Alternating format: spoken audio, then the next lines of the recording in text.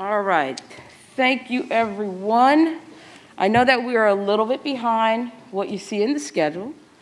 I'm going to do my best to do a little bit of housekeeping along with my colleague Erin Lynch from QEM and get you off and going into the work of reflecting, connecting, and raising smart questions about how we'll sustain this good work. So, what we'd like to start with is a land acknowledgement. There we go. Now, I'll turn it over to Erin. Thank you. Good morning. Perfect. Uh, we respectfully would like to begin by making sure that we acknowledge that our convening is located on the ancestral lands of the Anacostans, who actually lived here in uh, Capitol Hill, uh, part of the Algonquin Nation, and our neighbors of the ancestral lands of the Piscataway, the Punkamoni, and Punkamoni people. We recognize that the nations of the mm, Pamunkey, thank you, Indian tribe, the Chickahominy, the Eastern Chickahominy, and the Upper Mattaponi, the Rappahannock, the Nansemond, the Monacans, the Lenape, and the Nanticoke, Potawatoins, uh, Susquehanna, Tutelo, and Saponi tribes all continue to live within this very area and the surrounding areas of Virginia and Maryland. As academics, it is our responsibility to make sure that we acknowledge the sovereignty and the traditional territories of these tribal nations, and that the treaties that were used to remove these tribal nations from their people um, are part of the historical dispossession that has allowed for the growth of our academic institutions and organizations. Consistent with the Includes Hub uh, commitment to diversity, equity, inclusion, and belonging, we acknowledge that the historical and current experiences of Native peoples um, as it helps to inform the work that we do and our colleagues in the um, network who are doing that work.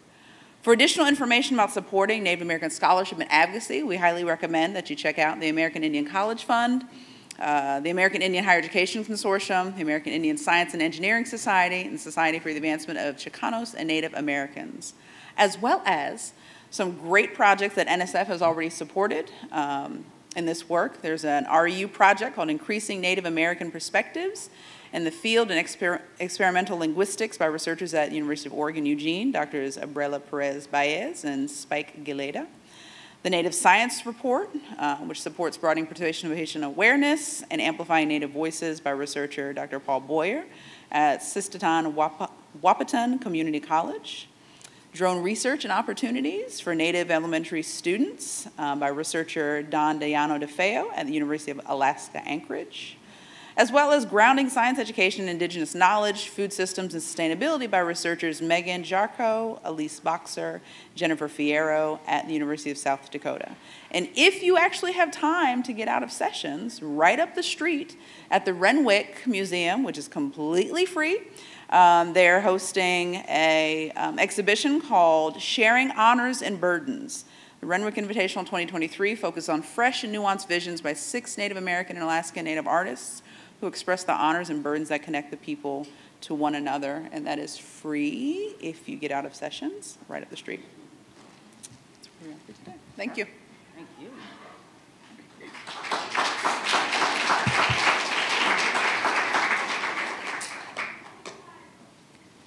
Okay. Next slide, please. Yeah, we don't have one today. so we'd like to share just a few logistics and updates with you. Um, first, we want to start off. Many of you have already accessed the CVent app. Some of you have not. We'd like to invite you to, if you haven't already, to download the CVent app. And for those who have downloaded it but have not yet populated it with sessions over the next couple of days, please do so. Next slide. Here are some instructions about how to do that. Once you download the app, there's a very long event ID. You can also find it at the registration desk because it'll be difficult to actually track that. There is also, I believe, a QR code available at the registration desk to facilitate. Oh, I get it's the name of the conference. just, it just clicked. It's the name of the conference. NSF, Eddie, Bernice, Johnson, and click. I, it just clicked. It just clicked. Oh, like, what are all those letters? There's always a rhyme to the reason. Okay. All right, reason to the rhyme. Okay, so go ahead, enter your first name, last name, email, and log in. Update your profile, browse the different modules. Next slide. Specifically, to create your schedule, follow those instructions. I'm not going to read them to you, um, but it's pretty simple. There are two options. You can click on the icon, the schedule icon, and get there. And there's easy access to adding sessions, um, or you can scroll through the, the options up top. Next slide, please. So we want to take a, a moment. I'm going to let Erin do this because Erin's been engaged with um, her colleagues in the coordination hub for a while now, and so I'm going to let you do this.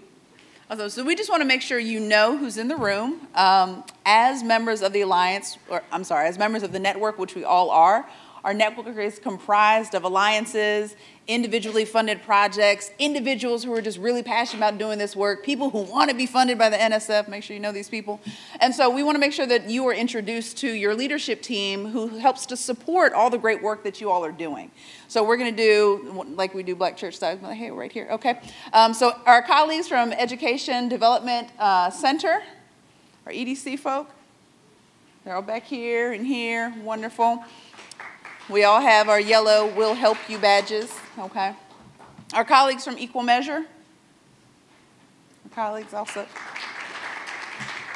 Okay, we're going to have a discussion about how everyone's clustered in this side of the room. to diversify. Okay, our colleagues from RS Impact, in the back of the room, okay, great. Our colleagues from Quality Education Minority Network. Where's my executive director? She's here somewhere. Okay.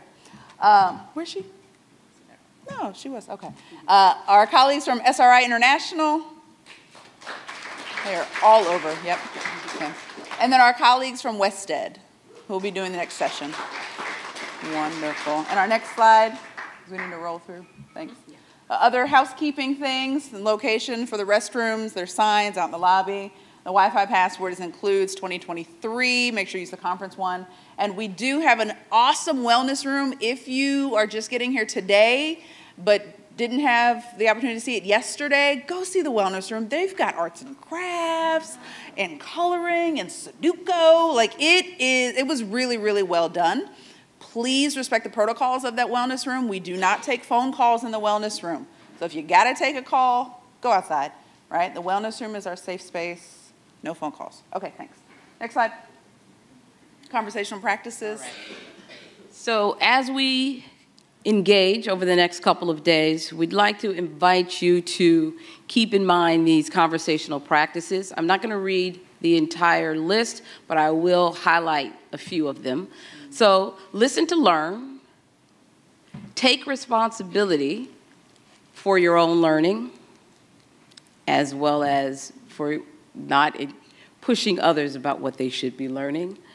Um, share responsibility uh, to include all voices. So make space and take some space. Be present and engaged. The use of cell phones, we know we all have to get things done. There's a lot of work waiting for us back at home, but be mindful about how you engage with your technology in sessions. And lastly, disagree without discord. Um, challenge ideas and not the people. All right, I'm squinting because when I'm tired, my eyes fade fast. Um, next slide. We'd love to invite you to also connect with us um, on the social media platforms. We're on Twitter, uh, that is our hashtag, and also through the website, includesnetwork.org. Next slide. COVID safety. So we have been very fortunate to be clear and guided by a COVID safety protocol. You can, and policy, you can find that in the CVent app in the program guide. We also have been quite intentional about making sure that we do our level best to one, be transparent and keep you updated about changes And one of those changes is if there is someone among us who unfortunately comes down with COVID, we invite you to let us know. The person you're going to let know is Leilani Lopez, and we'll let the community know so that people can make choices and just be informed. We're also taking some intentional actions to make sure that we are being as safe as possible by providing masks at all of the tables. There should also be masks in each of the break rooms, just in case, and you can find them at the registration desk. There is also hand sanitizer spread throughout on multiple surfaces. Um, and in breakout rooms and here in the main ballroom, you'll notice that we're often using mic covers. It's really difficult um, to quickly switch out mic covers, but please give us a bit of grace as we try to be safe. Um, and again, wear your mask and be mindful that some people don't have an option. Uh, they have to wear the mask and be safe for many different reasons. Lastly, um, we are excited to um, know that the former Congresswoman will be joining us later today, um, and we are preparing for that. One of the steps in our preparation is that we are creating a guest book. And in the guest book, we've invited, we've provided some empty pages for people uh, to write a special message to the former Congresswoman about the impact of this work. Um, stories about how you have leveraged the opportunity, things you're excited about. Um, and so there are pages up front. We invite you to go grab a page and a Sharpie and then return it to the registration desk. If you could do that, um, as soon as possible. We'd love to compile um, a number, as, as many as possible, so that we can present, bind it and present it to the Congresswoman, former Congresswoman. Okay, have I forgotten anything? There are a lot of people making sure I know what to say. Okay, so we are moving into our Strand 1 plenary session. Is there a person, Tori? Okay. Tori's going to come up and help us transition? Yes, perfect. Right, thank you. Mm -hmm.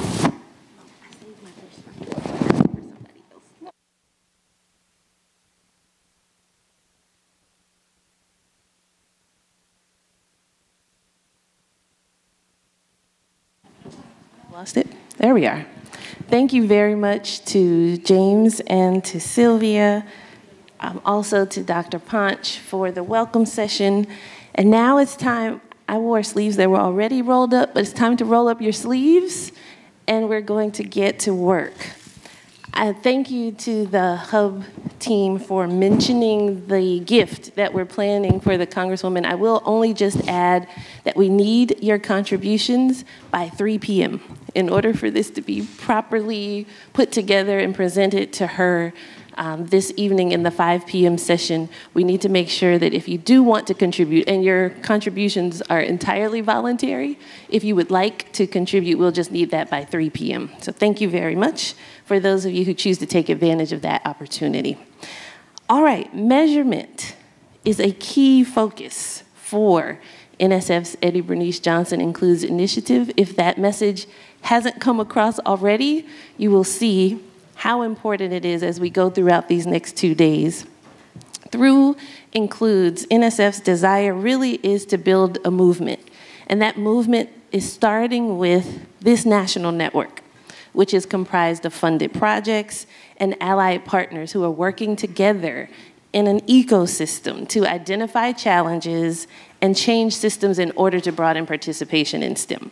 And of course, there are many facets to the work. There are many challenges to address, and the Includes initiative is comprehensive in the way that projects focus on different educational levels, different disciplinary areas, different populations, and different contexts. And so measuring progress and success in that kind of a comprehensive initiative can be a challenge. We talked about that some yesterday with the alliances, but this community is, is navigating the waters of measurement and evaluation, and we are already seeing signs of progress. So this week, we are going to share more about that progress um, in a document that we'll share, share more about later. But it's our goal to allow you to see that early progress, and then today, in, in this session especially, to focus on continuing that work. So, it's important that we understand the framework that the initiative is using to scaffold our collab collaborative efforts toward equity driven systems change. And it's really important to conceptualize what it's going to look like for each of you to operationalize systems change in your work.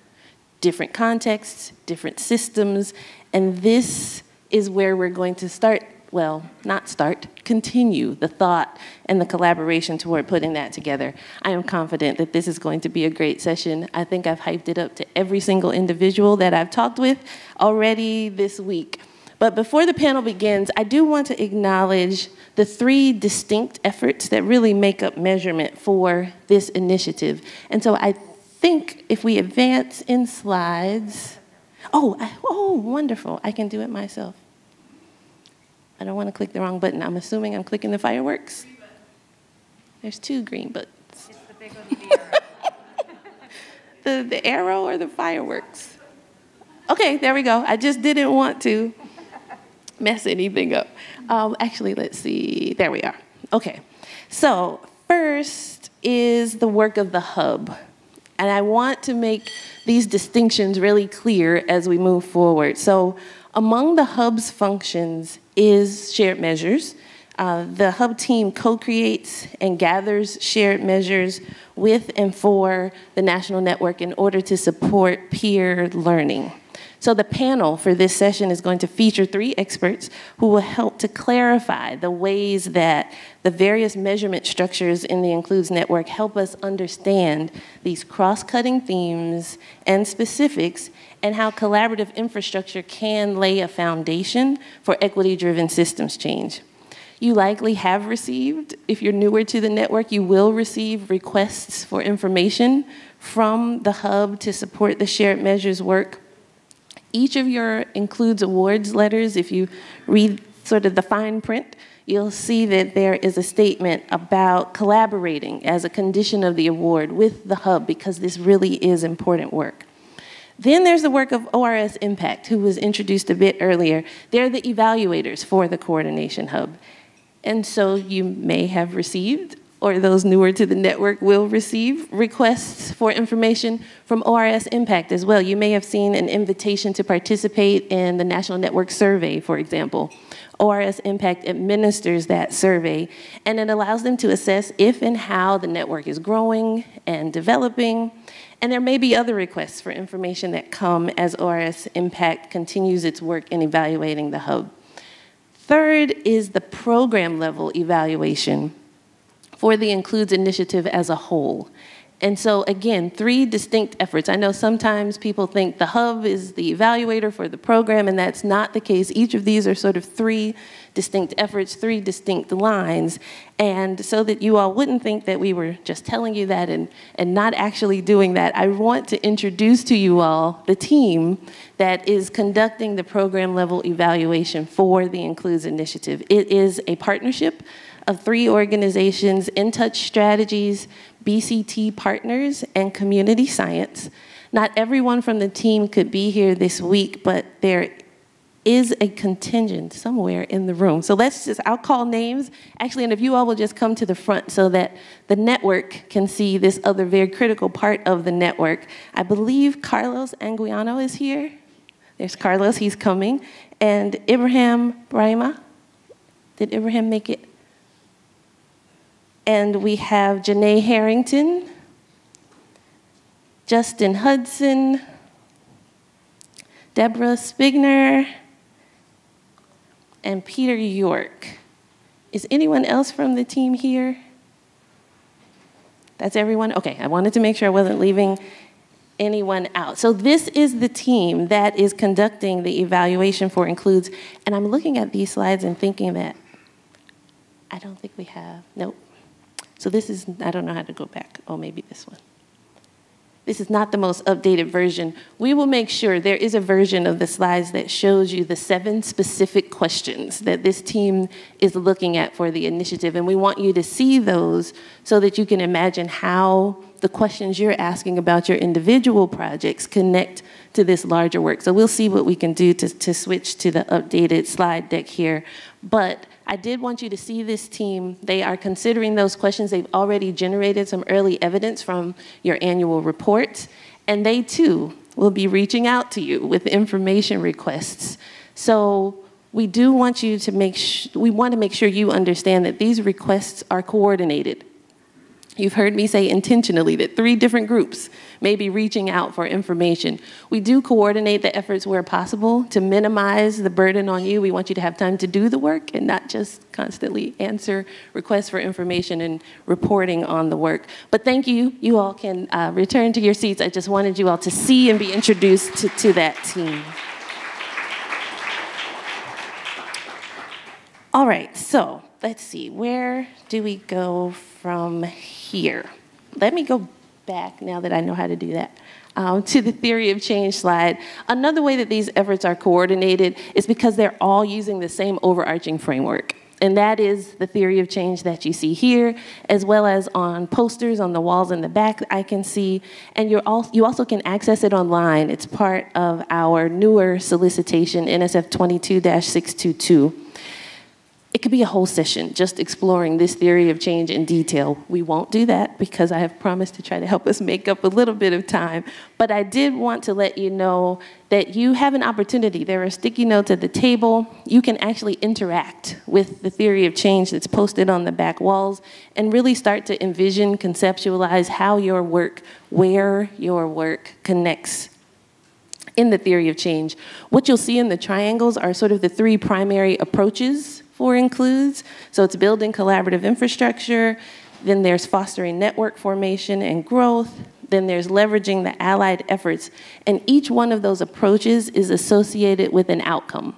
So building collaborative infrastructure is expected to yield more effective collaborations.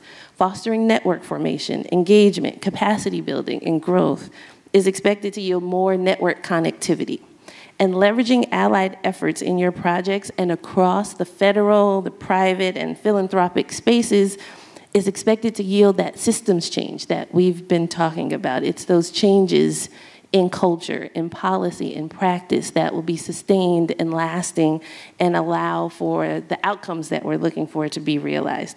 So we invite you to envision again how your work connects to this. And with that, I'm now going to turn things over to our distinguished panel which is led by WestEd. You also heard WestEd mentioned as part of the hub.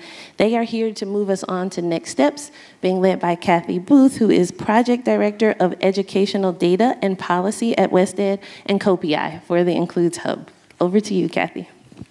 Thank you so much. So, oh, can I have the clicker actually? Because then I can move forward to the next slide. Thank you. So, as you just heard, there's a lot of different ways to think about measurement in the context of a really consequential approach like what we're doing with Includes. And the work that the evaluators do is very, very important because that's the accountability that gets given to the public to show that we're making good use of these dollars. But it's also really important as practitioners to be able to have measures that help you figure out if you are on track. And so, what I'm going to be doing is sort of walking through the theory of change and some of the major um, sort of concepts that you're working with within the network to clarify how they fit together and how we measure them. So, if I were asked to sort of quickly distill what's in that very complex theory of action, I would say the first thing that we are all trying to do together is find each other right? So we are the usual suspects. When there is some opportunity on your campus or your organization to try to make a difference, to make it so that more people can be engaged in STEM, you are probably the people that have always been the first to raise your hands. And so one of the important things that we do with the network is create a space for you to find each other. We are the coalition of the willing, and we're going to be the community that works together to get this work done. So what we end up doing is we create spaces, virtual and in person, where you all can meet and talk and learn from each other. So when we're choosing to measure this, we're figuring out how many people or organizations are being engaged in the work of the network. So that's pretty straightforward.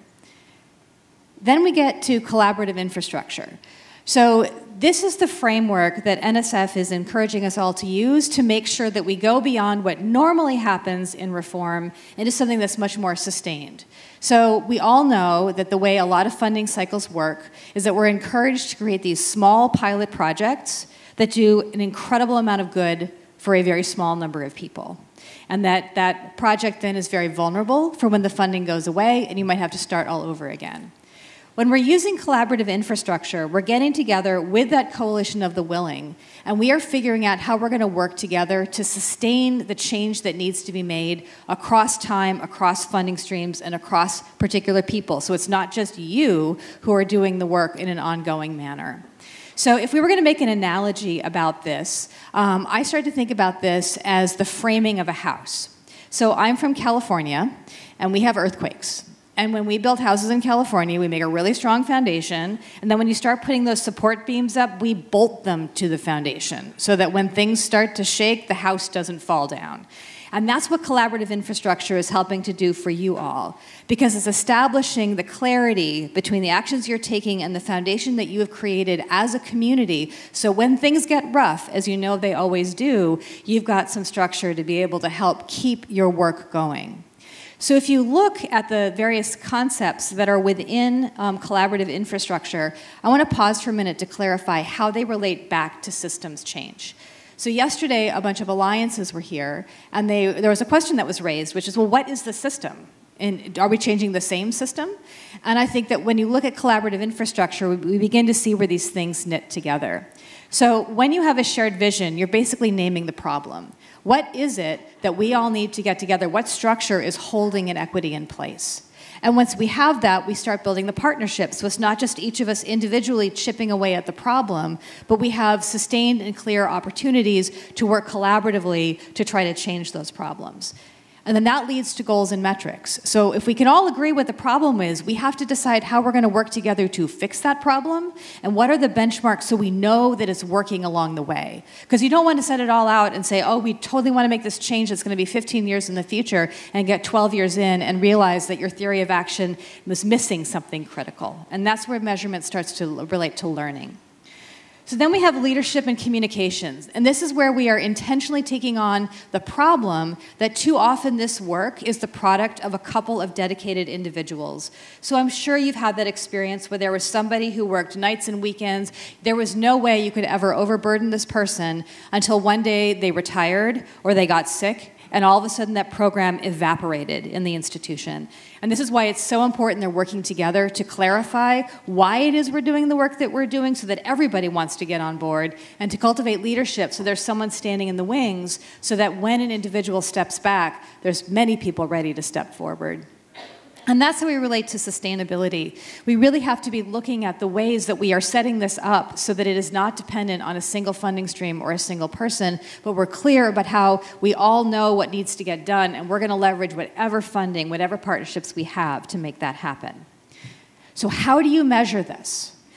Well, we basically are doing surveys where we ask all of you, about the network members and the alliances in particular, how's it going? Do you feel like you're building stronger partnerships? Are you getting clearer about how you're going to measure progress? And that's really the only way to get this information because you're the ones on the ground experiencing this. But we can create things like case studies that help clarify what this looks like in action, which then leads us to systems change. So, if you're going to think, again, continuing my house analogy, this is basically the blueprint for a sturdy, inclusive structure. So when I think about how change often happens in um, education or in places that are trying to help people get to STEM occupations, we end up with this problem of just the small project. So you could imagine there's a house that's got a really steep stairwell, maybe a, a building on a campus, a really steep stair. And if you just sort of attach a, lift to that so that somebody has to sit on a little rickety thing to go up, you're not really making that space open for others. And this is why inclusive design is such a fabulous thing for all of us to be looking at. If you replace that steep stair and the rickety lift with a beautiful curving entry ramp, you not only make it more possible for people to get into that building, but you create a space that's welcoming so that lots of people want to go in there. And then if you go in the building and instead of a little warren of little tiny dark rooms where everyone's all on their own trying to solve problems independently, we had big open spaces with plenty of light. We'd have space to collaborate and realize what we have in common and work more effectively to address those challenges.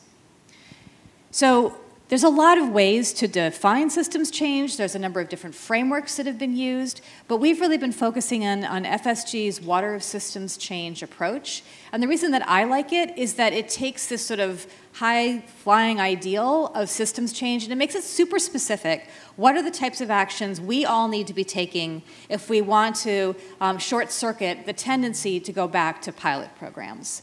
So, what I want to do is sort of walk you through it um, and give you an example. So, I am a community college person, and I have for years been issuing a challenge that I do not understand why there is not a clear pathway from construction crafts certificates to a master's degree in engineering. Because You've got to believe that somebody who has on the job experience building something is going to make an incredible engineer. I also know that a lot of the people who work in construction are people of color who are often the first in their family to go to college. And this is an incredible population that we could be tapping into to diversify STEM. But everyone is often struggling because there are many, many, many different structural reasons why it becomes very difficult for those construction craft students to enter an engineering program. So if we go through these different concepts of systems change, the first cluster of things, and basically um, FSG has said there are six conditions, things that we need to be working on in order to generate systems change, and these are interdependent. So we can break them out to talk about them more clearly, but when you're doing the work, you're often doing a lot of these things all at once. So, the first thing that you might want to do, if you find a coalition of the willing, a bunch of other people that want to build stronger transfer pathways from community college to four years, from construction crafts to engineering, you're going to look at policies. So, this can be big policy, big P policies like state laws, or little P policies like things that we do within institutions. And I know that one of the problems that we have is the articulation agreements between community colleges and four year institutions. So, your group could get together and decide that what you really need to do is address the way you have those articulation agreements so there's more room for credit for prior learning or recognizing the skills taught in courses that are more applied rather than being more conceptual. So you could all work together on making that change. Then, under practices, which is the place where I think most of us are in our comfort zone, we could be really thinking about changing up the given for what, when you get to people to ask them for information. So maybe one of the reasons that students are not going on to get a bachelor's degree is they cannot figure out how to enroll full time because they have a job and supporting a family. So, what if you embedded into your construction crafts courses an opportunity for a counselor to come in and ask students what is in the way of you enrolling full time and maybe going for a bachelor's degree, and then providing counseling to them about where to get the supports that they need to be able to engage more fully? The next one is resource flows, and this, as we already, already heard, is where a lot of us get stuck. We tend to focus on where we're going to get additional funds to make the change rather than changes to the money that we already have. So maybe what you do, because we know that when community college students transfer to four years, often there's nothing there waiting for them or they get sent to orientation with a bunch of 18 year olds. And that doesn't address the particular challenges and opportunities they're going to have going to a four year institution. So maybe you agree that you're going to devote some of your funding to be able to have a dedicated orientation for transfer students, and particularly for those folks coming from construction crafts. So those are the explicit structures that are holding inequity in place. Then we get to sort of the semi-explicit, the things that we kind of know, uh, but aren't as clearly written down. So, the first of those is relationships and connections. So, one of the things that I've witnessed is that it's often difficult to get faculty at a four year institution to trust that their two year partners have taught with sufficient rigor for what they are going to do going forward. So, maybe your collaboration gets together and says, let's have faculty get together with their curriculums and talk to each other. And oh my goodness, when you get faculty together and they're seeing the things that they love and they love to teach in common, you build the trust that makes them more willing to change the articulation agreements so that you can make it easier for those construction students to get bachelor's degrees. And then we get to power dynamics. So there's a lot of intersegmental commissions that do things like set the rules for those articulation agreements. But those of us who are community college folks know that we're normally treated like we're second class citizens. Like we get to be at that table, not that we deserve to be there. So if we really address the power dynamics so that we can see the community college practitioners are on the same footing as their four year colleagues, we might be able to get some more things done. And that leads us to the implicit level. Um, this is the implicit bias that we may not even recognize that gets in the way of the work sustaining. So I mentioned earlier that idea if we had an understanding that someone who had on the ground experience would make a much better engineer, what if we set about making that the default way that people thought about this? That that was the message that was being um, clearly articulated by educators, where we engage employers and make clear why those students are valued, and all of a sudden you go from a scenario where people are saying, why would you expect a bunch of guys that lay drywall to be your future engineers? To saying, let's go to those construction sites, let's go to those classrooms and recruit those people that we know are going to be so much more effective at the job. So that's sort of how this all fits together. Now, you may ask, well, how do you measure that? So, this is where the measurement that you do becomes really critical. Because in my experience, I may start something out and I have all these visions. I might have this map for all the changes I want to make. And then I get just mired because the politics get in the way, because your critical ally retired, and all of a sudden you find yourself defaulting back toward the pilot project model. It is very important that we have very clear benchmarks and ways of knowing as we do the work to make sure that we're carrying through those harder tasks to look at semi explicit and implicit bias that's uh, affecting our work. So sometimes we're going to have numbers that are measuring that. So we could say something like, could we look at the percentage of community college practitioners that are fully engaged in that intersegmental commission? But a lot of this information is also going to be gathered, just like we are with collaborative infrastructure, through means like um, surveys and focus groups and case studies and narratives that we tell, because that's where we're going to get to that, that hard truth about what is being what is being done that makes it difficult for people to go forward or what it was that unlocked the door so they could. So this is probably going to be a lot of what we'll need to focus on over the next bit of time and will be the focus of what we are doing in the breakout groups so there is a fantastic brief that the uh, Coordination Hub put out last year that clarifies the connection between the water systems change model and collaborative infrastructure. Um, also, there was a pre-reading that was sent out that was a webinar that was done by FSG in partnership with some community organizations that really make this real. It's a well-spent hour. I would really, really recommend you're taking a look at it. But of course, I can be here telling you about theory. It's much more important to talk to someone who's done this in action. So I'm really happy to hand over the mic to Dr.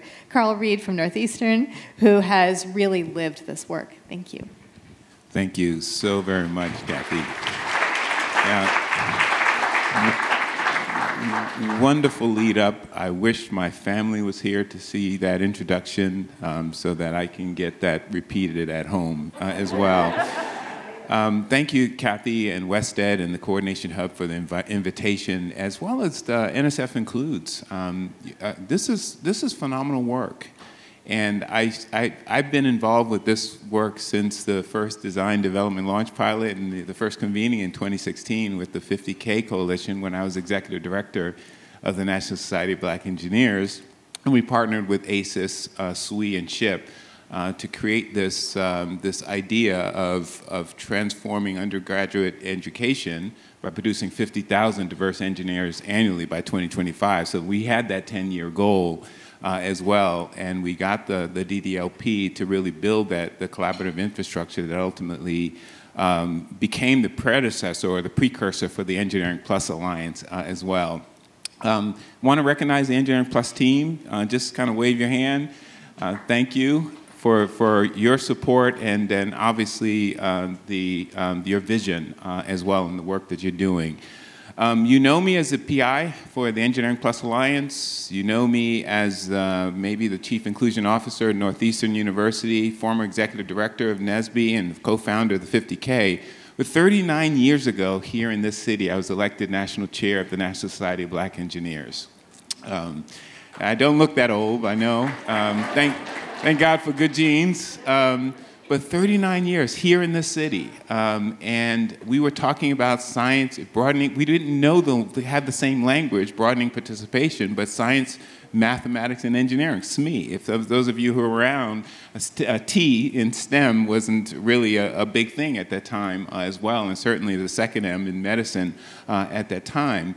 We've made a lot of progress thus far, but we're still asking the same questions. Why is this sort of persistent problem um, that Kathy really started to articulate as so what I want to do is just share with you some of the work that we're doing with the Engineering Plus to really operationalize uh, the systems change model uh, as well. And uh, spend the next, you gave me three hours to do this? Okay. Um, so the Engineering Plus Alliance was established. We are cohort three. Those of you who are in the room, I mentioned it might have been, I said cohort four. We're cohort three of the, uh, the, uh, of the alliances uh, as well. Uh, and we were established um, two years, so we're just finishing up our second year uh, of this work. As I mentioned, a lot of it builds on the work that we did uh, with the 50K Coalition, and, and many of those members are still a part of our alliance as well.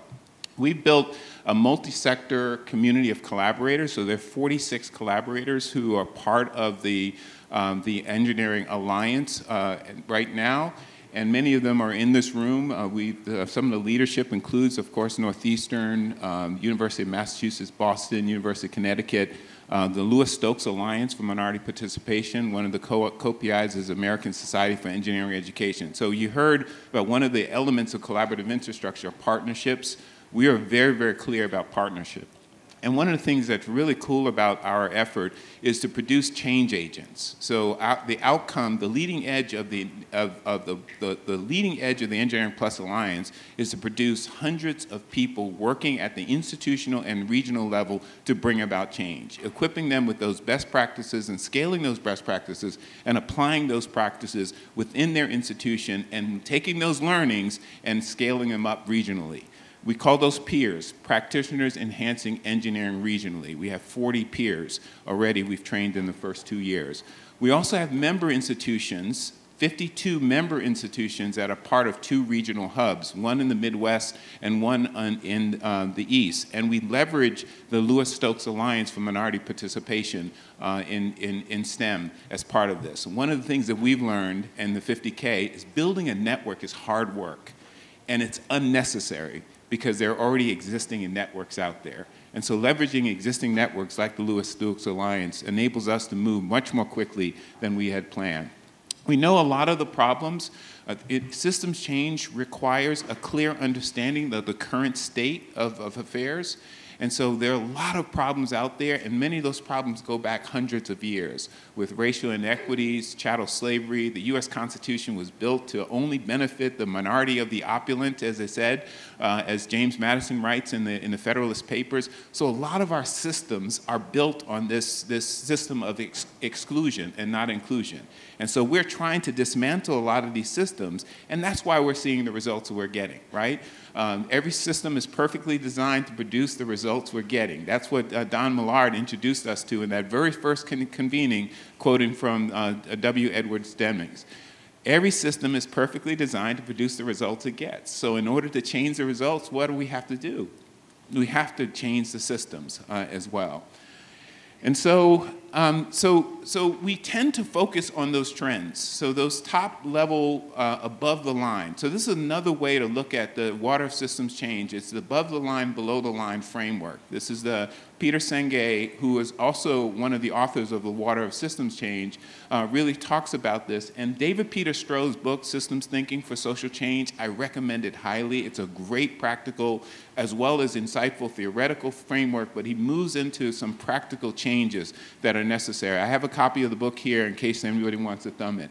But we tend to focus on the, the trends, like the trends that I just showed you, which shows that we've only made modest progress in the number of BIPOC, those who identify as BIPOC and women in engineering at the undergraduate and graduate levels as well. But what we don't focus on is what's behind this, what's underlying this, and what, what David Peter Stroh calls the root causes of those complex problems.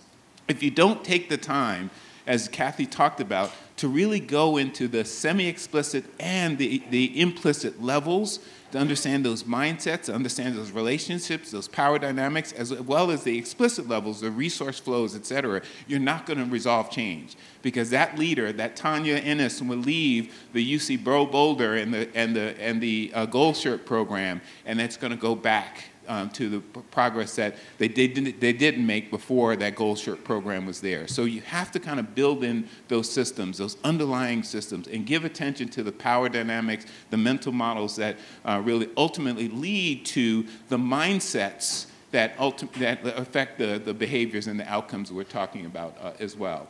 So our hypothesis in the Engineering Plus Alliance is, is, is, is simple, right? There's been a lot of good progress. Uh, ASEE, the Institute for Broadening Participation, NSF, the National, the National Academies, they've produced a number of reports on what we need to do. I don't think there's, there's a question of what we need to do to broaden participation in STEM. We know those practices that work, those high touch practices, getting students engaged, high expectations, high self efficacy, high connection, all those things work. And I can, we can, we, we produced some of that in partnership uh, when I was with the, uh, uh, NSBE as well. What we lack is a way to consistently leverage the evidence-based high impact practices. So not the what, but the how.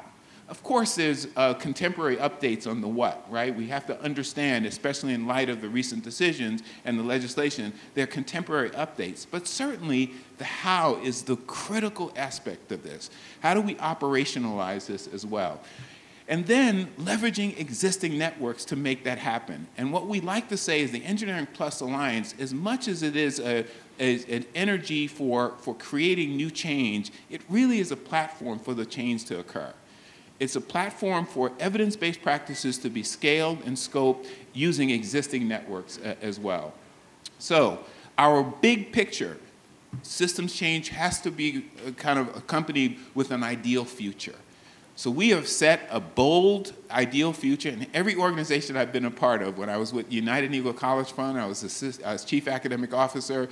I was with NSBE, with the 50K, and now engineering. We've always set bold goals. And people say, well, what happens if you fail? So what, right? If you set the big goal, you'll fall short. I remember when we set the big goal in NSBE in 2015 to 10,000 black engineers annually by 2025. They said, well, what happened you come up with 7,000? It's like it's still double what we are now. That's a good thing, right? So this kind of deficit approach, no, it's, it's an additive approach. So we've set this big goal to produce 100,000 diverse engineers annually at the undergraduate level and 30,000 working with our partners through systemic, transformative, and sustainable change in engineering education by increasing the growth rate in the number of degrees awarded. Bottom line, that's our elevator speech as well. So, how do we do this? We set these bold goals and critical goals that are associated with this. We are partnering with the, the uh, ASEE Diversity Recognition Program. That's a program where 130 institutions have signed on to say we are going to do some work, systems work, to really move the needle with regard to the diversity of our engineering population. We feel that that's a leverage point. It's not the end in and of itself, but it's a leverage point to help institutions move from bronze to silver to gold in that effort. To do that, we are setting up 400 institutional partners. We're setting a goal to have 400 institutional partners in this network to produce 400 change agents, to raise $50 million in endowment because we have to build sustainability into this process and to have 300 industry uh, stakeholders as partners. Now, these are higher than what we proposed to NSF, so don't tell NSF um, that we've, we've, we've set these uh, more ambitious goals. So Octavia Butler and my good friend um, Alex Cortez at Bellwether really talks about this. He, I love this quote, right? At the end of the day, the reason we don't see change, folks, is because all struggles are essentially power struggles. And, and who, who will rule, who will lead, who will define, who will refine, who will confine, who will design, who will dominate.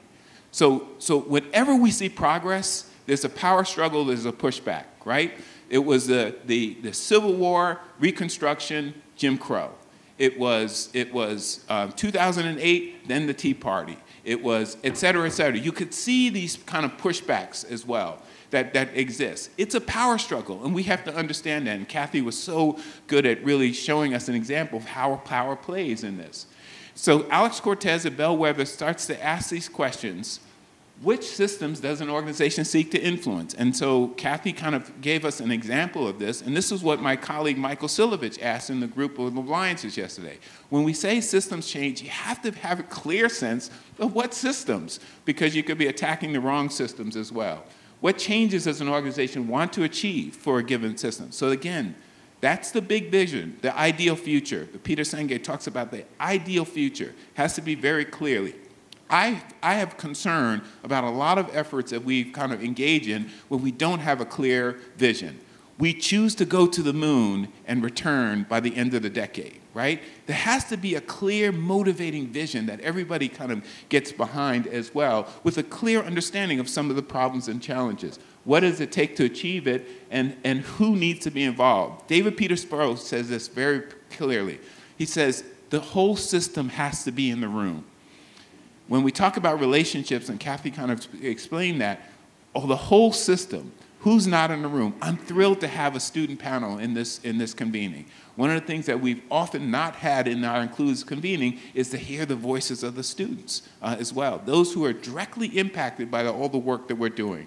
Uh, so the whole system has to be in the room. And so you've heard this, I don't have to go into this uh, as well, but one of the things I want to say is the, the, the model talks about the six conditions of systems change, but how do we do it?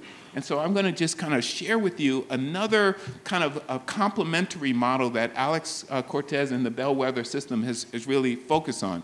So Kathy talked about small projects. A lot of us start with small projects, summer bridge programs or, or uh, intensive advising programs or, or, or tutoring programs or whatever, scholarships, et cetera. Small projects that's, that's there.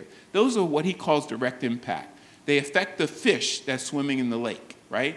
Um, uh, uh, Leon Andrews of, of uh, Equal Measures talks about this, this another kind of, think, in, in, interesting. We affect the fish swimming in the lake, but don't affect the lake, right? Making sure that the lake quality is okay for the fish as well. And so what, what he says is great projects what I think includes this does is moves things from a direct impact to what he called a wider impact. It's taking the ideas that work in one institution and applying it to another institution as well, or another network uh, as well, and that's wider impact. But it, at the end of the day, that's good, and I love the fact that we're starting to talk about, well, how do we have systemic impact uh, as well? And, and, in fact, the theory of change model that uh, uh Tory Smith kind of uh, uh, showed earlier really gets at this. But it's a progress, it's progress made. And so going from direct impact, and I'll move through this quickly, it says, it says taking the, what's working at one location or one program, et cetera, and serving as a test kitchen okay? Making sure, does it work in another other institution? And if it does, then making sure we're doing the research to understand what's working and what are the elements of one uh, initiative that applies to another institution that works. That's getting to wider impact. Uh, and that's what we tried to do with the 50K, that's what we're doing with the Engineering Plus, and that's what a lot of Includes Alliances are as well. But at some point, we need to provide evidence and insights to shift systemic conditions. What are those systemic conditions that continue to get in the way, even around wider impact? And those are the things that really begin to define those systems. Yesterday we talked about, I think Aaron talked about our why, right? If, if we can articulate our why, it begins to identify evidence and elements of the system that we're trying to break as well. And then we build the coalition. That's what we're doing, right? With includes, that's what we're doing with the convening that we uh, that had earlier in the week, where the the, the includes alliances and, and the other partners are coming together, thinking about what does the coalition look like uh, in order to really address that. And ultimately, those coalitions create systemic conditions that enable broader adoption of programs. So at the Alliance, our Alliance, we use data as key to inform a lot of that. So Rebecca Zarch is here with Sage Fox. She's leading our data team, our research team, and evaluation team as well. We're not just looking at Alliance progress. So I think what Kathy talked about earlier, which is how are we doing? Right? What's WestEd is measuring and others. How are we doing around this? That's alliance progress. But at the end of the day, what matters is the equity. It's the external. How we really affecting change? And we're trying to get around that. We're trying to identify that now. So we're looking at sort of framing the context um, in, in order to identify the priority problems uh, we, we've identified a lot of those problems. We've identified, we've to inform the strategies as well at the Engineering Plus Alliance. We've done the landscape analysis. We've developed a data, um, a landscape tool that all of our member institutions can access in Tableau to see their data relative to others on progress on enrollment, admissions, uh, graduation rates, et cetera. That's built into our, our, systems as well. That has to inform that work uh, as well. And then we're, we're rolling out sort of not only tools, but leveraging existing tools uh, that, that exist there. But we're still kind of getting to this, how do we measure the systems change that we're trying to achieve? So at the end of the day, and this is my last slide, we just have to be kind of very clear about what is the problem that we're trying to solve. That has to be very clear. When I was in software and software development, we used to call it go slow to go fast. Defining the requirements upfront is key to the work that has to be done. And so shaping the problem is got to be the first work of the alliance uh, as well, and understanding the systems that, that exist and where, why we're where we are as well. And then kind of articulating a future state, a shared vision of a future state. It has to be something that motivates people and gets people inspired uh, as well. Meeting just to meeting is insufficient. We do that at universities all the time, right? It's just insufficient and it doesn't motivate people. It doesn't keep them excited. There's no joy in meeting just a meeting uh, as well. And I'm an introvert, so I'm, I'm, I'm, I'm sharing that as well. And then what are the system attributes that need to change? So um, a perfect example was given today around construction, uh, students who receive associates in construction to engineering.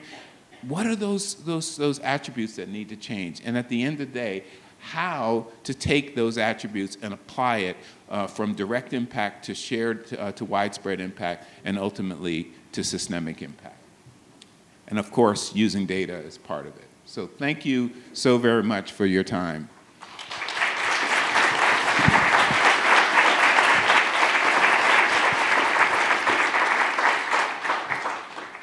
Well, thank you so much, Dr. Reed, for sharing that awesome example of how these frameworks and terms are starting to show up in your work. Um, I'm Alice Opalka. I'm with ORS Impact, so we're the Coordination Hub's internal um, evaluator. And I'll just close us out um, by sharing some examples of how these ideas are showing up in the network um, today. So while you all might not always use these terms or frameworks in your day-to-day work, we're hoping that at this point you might be starting to recognize or think about how some of these aspects of the frameworks are present in the work that you're doing. Um, and so like I said, our goal is just to close out by sharing a few examples of how systems change is showing up in network members' work and also how some network members are seeing that connection between collaborative infrastructure and systems change. So the first example I want to share is drawn from the annual National Network Survey. And so while that survey is primarily about kind of helping us learn how the network is developing, what members are interested in, what kind of outcomes are coming about, the last two years we also asked a very open-ended question, which is how does systems change toward broadening participation show up in your project. And we wanted to ask that just to see how folks are thinking about this right now and also kind of what areas their work in their perception is starting to touch on. And so we decided to categorize the responses in alignment with that Waters of Systems Change framework. Um, and I'll just make the note that, of course, this is just a survey response. Um, the responses were not super long, so we used our best judgment to kind of try to categorize them across the groupings, but there were some that didn't quite fit, and so we also had an other category. Um, but even so, there are some really interesting patterns that started to show up.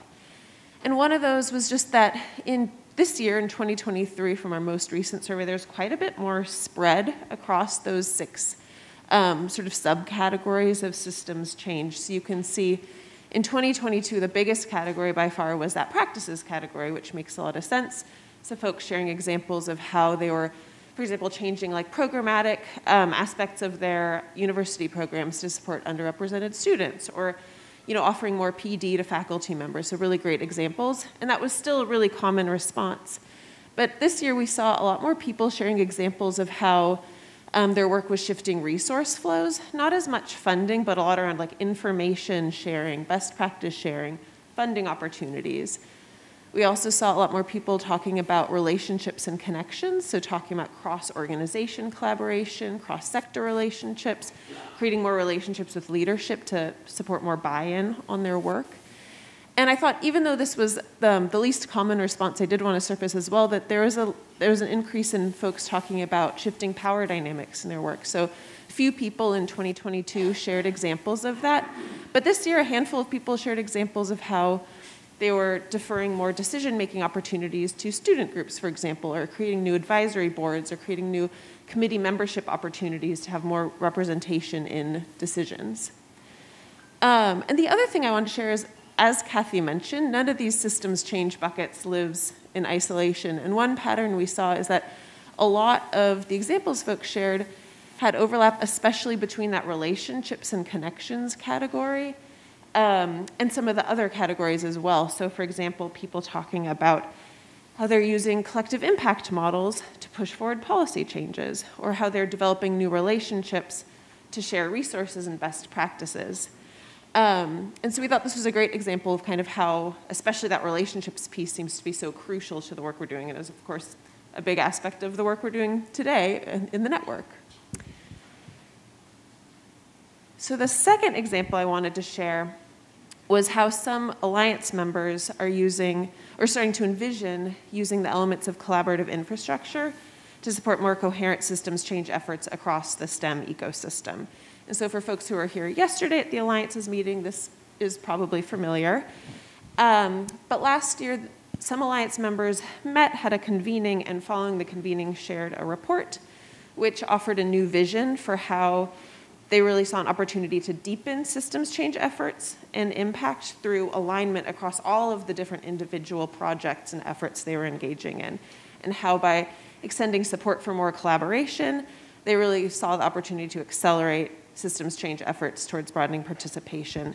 And they used this metaphor of this braided river, which is where that image is from, of how you can take all of these individual diverse efforts to kind of advance changes across the full STEM ecosystem, touching on so many different points.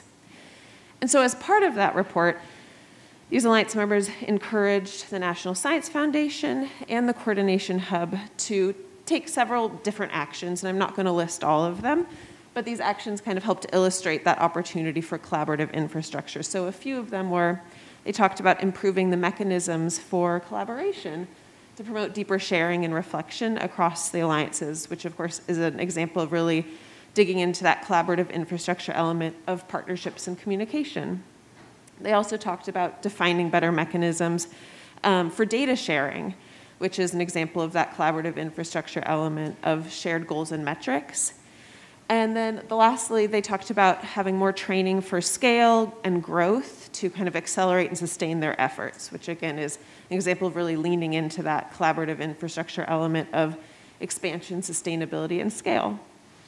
Um, and so again, just want to share these two examples, but especially this one as an example of how that collaborative infrastructure framework can be used to really push forward and be a foundation, as Kathy shared earlier, to support real systemic change efforts. Um, and so, just to close out, we were really excited and encouraged to see just how, even in the first few years of this network's development, um, these real like ideas and progress towards systems change are starting to bubble up from all the different projects across across the network. And so the breakout following this um, session is going to be an opportunity for you all to really dig into those elements of systems change and think about how that can apply to your work. So I'm going to pass back to Kathy to explain how that will look. I think actually Erin's going to be coming back up, but I can go, or I can do it if you'd like. Um, there is a slide back at the beginning, so we're just going to go back in time real fast, that shows all the different breakout rooms.